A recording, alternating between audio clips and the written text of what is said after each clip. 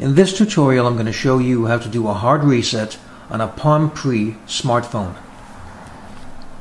What you have to do is you have to hold down the power button which is right here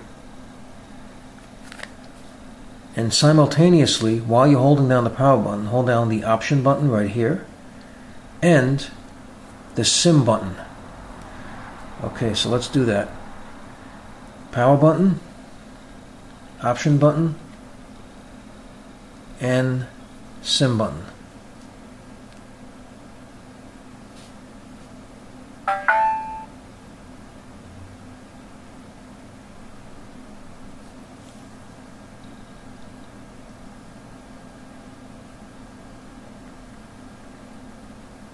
Okay, now you can let go.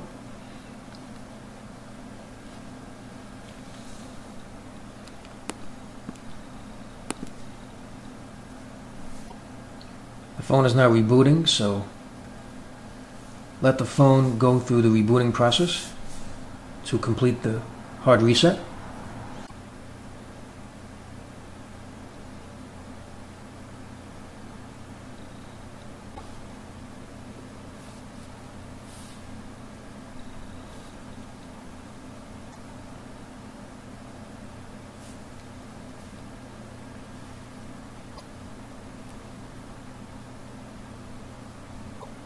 Okay, so the phone has been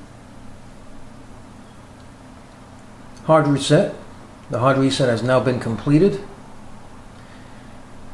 I hope you found this video useful. If you have, please show your support for this channel by subscribing. Feel free to leave comments. Please like up this video, and thank you for tuning in.